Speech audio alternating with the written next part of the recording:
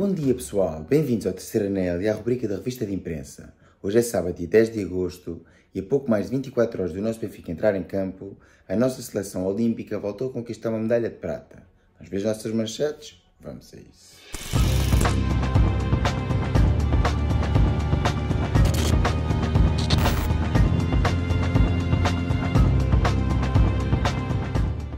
Pois é, meus amigos, hoje é dia 10 de agosto e no dia 10 de agosto de 1999 o Benfica jogava um amigável com o Bayern Munique na pré-temporada e a partida acabaria com o 2 a 1 para a equipa alemã.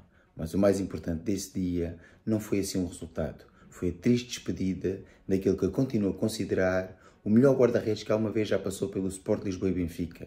Estamos a falar de Saint-Michel ou ainda Michel Prudhomme claramente o astro belga, que tinha chegado ao Benfica na temporada de 94, encantou todos aqueles benfiquistas que o viram jogar e deixou imensas, imensas saudades, pois nunca mais voltámos a ter um guarda-redes daquele calibre.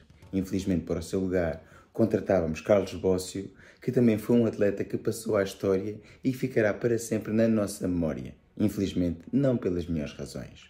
E agora sim, vamos então ver as nossas capas, mas ainda antes de começar a ver as nossas notícias, quero lembrar que ontem saiu assim o episódio Bar do que infelizmente não pôde ser live, como já tinha anunciado no vídeo das capas de ontem. É assim um vídeo gravado de uma hora, onde analisamos a difícil situação financeira que o nosso clube está a atravessar e que obriga assim muitas vezes a dilapidar o património desportivo.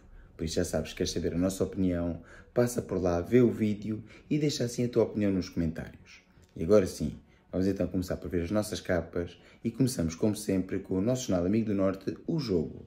Mas ainda antes de começar, quero voltar a recordar outra coisa. Eu, quando digo o nosso jornal Amigo do Norte, o jogo, não é nenhuma troça nem nenhuma sátira ao jornal do jogo. É apenas a forma carinhosa com que eu trato este jornal do Norte.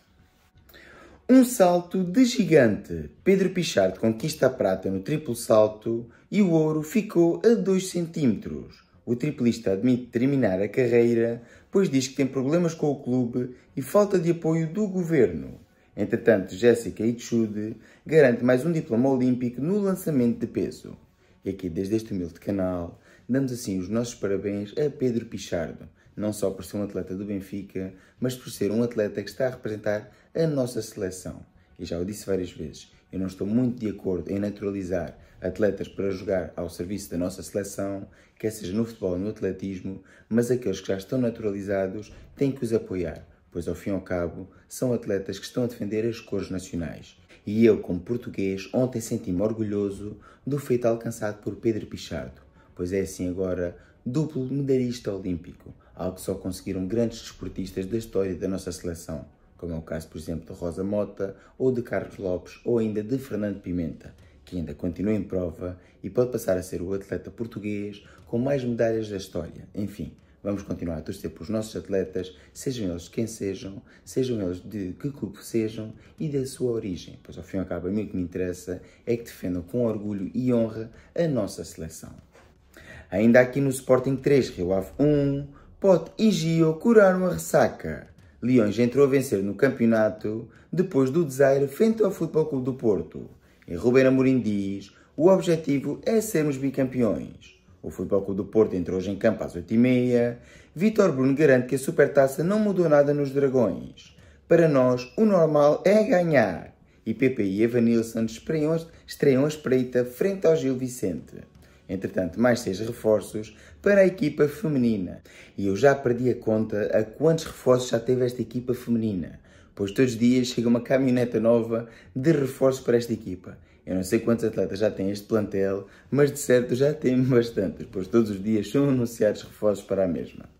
E agora sim, vamos então ver o destaque que interessa, que é assim o do nosso Benfica. Prestiani começa a titular. Destaque na pré-época será a aposta em Famalicão. Investidor dos Estados Unidos quer entrar na SAD. E aqui está aquilo que também já tínhamos falado. Prestiani rompeu com muita força nesta pré-época e está a mostrar que valeu a pena o investimento que o Benfica fez no mercado de inverno da época passada. Na minha opinião, um jogador com muita qualidade, mas temos que ter calma. Já disse isto várias vezes. É um atleta jovem, ainda não fez jogos oficiais pelo Sport Lisboa e Benfica e há que ter calma pois agora irá ser titular à partida em Famalicão, mas se o mesmo tiver um ou outro jogo menos conseguido, não podemos começar já a criticar. Da mesma forma que se tiver um jogo bem conseguido, não podemos estar já a dizer que é o novo Maradona, pois eu sei como é que é a euforia dos adeptos benfiquistas e eu próprio muitas vezes acabo por também cometer esse mesmo pecado. Bom, e agora vamos então ver o que é que dizem os jornais da capital e começamos, como sempre, com o jornal O Record. Potente! Dupla com Guióqueras afasta fantasmas de Aveiro. O português bisa e o sueco marca e assiste. E dizem ainda: Estamos aqui para ganhar o campeonato e ainda estou a recuperar o meu ritmo, diz o sueco. Já Rubén Amorim remata: Depois da supertaça, isto foi mais do que uma vitória, que ainda volta a brilhar na direita. E aqui está então a pressa da Cofina bastante contente com o seu Sporting a fazer grande manchete e a dar destaque à vitória dos Leões, em vez de uma vez mais dar destaque ao, à prata olímpica de Pedro Pichardo e assim ao grande feito do atleta nacional. Enfim, Pichardo de prata ficou a 2 centímetros do ouro. Diz ainda, estou muito feliz, disseram-me que igualei Carlos Lopes. E ainda diplomas na canoagem e peso. E aqui está uma vez mais o destaque, na minha opinião, não é o destaque que o atleta merecia e acaba por ter razão quando diz que em Portugal ligamos muito mais ao futebol do que ao resto das modalidades. Enfim, é uma triste realidade que temos que assumir por ser verdadeira. Ainda aqui no Futebol Clube do Porto, estreia de sonho é ganhar. Quem o garante é Vitor Bruno. Dragão vai homenagear Pepe. A sua ausência vai ser sentida nos relevados e fora deles. Certamente dentro dos relevados, todos nós vamos sentir sentir a falta de Pep, principalmente os atletas de alta competição que agora vão ir para casa com menos hematomas. Enfim, estou a brincar, já o disse ontem, Pep foi um grande central, infelizmente contra o Benfica, nem sempre teve as melhores atitudes. E por falar em Benfica, vamos então ver o destaque do nosso glorioso. SAD tenta salvar investimentos avultados. Jurasek e Tenkstead custaram 21 milhões de euros e falta ainda resolver os 27 de Artur Cabral e Meite. E ainda aqui, Grupo Americano quer comprar ações do Rei dos Frangos por 49 milhões de euros. Eu, sinceramente, esta parte da SAD, das ações, de quanto é que valem, não sei exatamente qual é o número que detém o Rei dos Frangos, não vou comentar, pois disso eu percebo pouco. Eu prefiro comentar a parte do futebol. Relativamente aqui ao investimento avultado que fala o Jornal Record, é evidente que o Benfica gastou muito dinheiro nestes atletas e, tirando Artur Cabral, que rendeu alguma coisa, os outros não renderam nada. E muito dificilmente vamos conseguir recuperar algum do dinheiro investido em MT. Claramente uma das piores contratações dos últimos anos.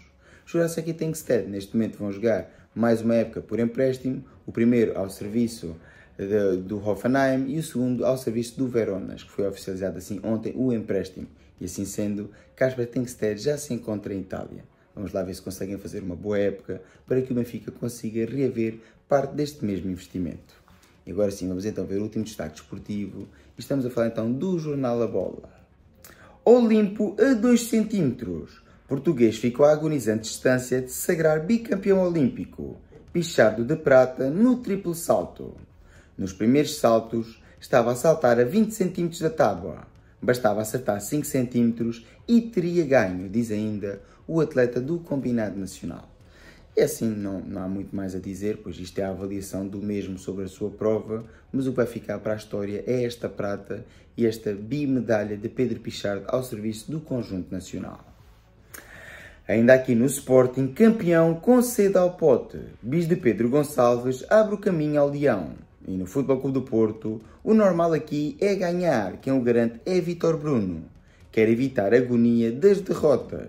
E Bruno Ribeiro, confirmado como treinador do Gil Vicente. Pois, infelizmente o Gil Vicente perdeu o seu treinador nas vésperas de enfrentar o Futebol Clube do Porto.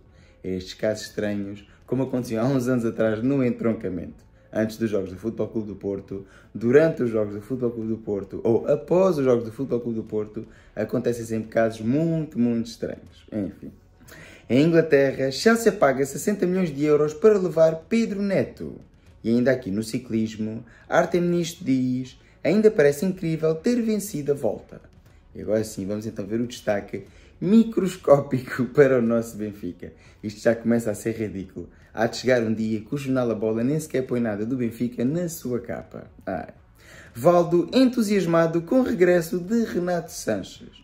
E é assim, com todo o respeito que eu tenho pelo Valdo, foi um grande atleta do Sport Lisboa e Benfica, é assim, tal e qual como Valdo, muitas outras pessoas ligadas ao Benfica, quer sejam antigos treinadores ou antigos jogadores, poderão estar entusiasmados com o regresso de Renato Sanches. Agora vamos pôr isso que é, todos os dias vamos pôr um novo.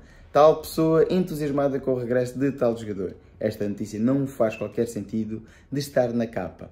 Que lá dentro houvesse uma pequena entrevista com Valdo e onde Valdo dissesse que era bonito trazer jogadores que já brilharam da formação ao serviço do Benfica, trazê-los de volta para que voltassem a brilhar eu percebo. Agora, pôr isto na capa, sinceramente, na minha opinião, não faz qualquer sentido. Enfim, está feita então a revista da Prensa Desportiva Nacional. Como é lógico, o grande destaque do dia de hoje vai para a medalha de Pedro Pichard, a medalha de prata obtida nos Jogos Olímpicos de Paris. Mas para mim, benfiquista e para muitos de vocês, o mais importante é a preparação da partida de Famalicão, onde eu vou lá estar e o Benfica tem que entrar com o pé direito neste campeonato. E ainda antes de terminar, quero recordar que aqui não houve menção nenhuma nos jornais desportivos, mas o Benfica entra hoje em campo, o Benfica feminino, para disputar o torneio do Algarve frente ao Sporting Clube Portugal, e onde eu também vou lá estar na bancada a apoiar o Benfica, pois o Benfica é tudo isto. É o futebol masculino, é o futebol feminino e é também as modalidades, porque o desporto é isto mesmo, apoiar o teu clube em todas as vertentes. É assim está feito então o vídeo, espero que tenham gostado. Se for o caso, dá o like, comenta, partilha, subscreve. Já sabes para cá se tiver X, segue no X e ajuda a crescer o canal. Fiquem bem e até o próximo vídeo. Viva Benfica!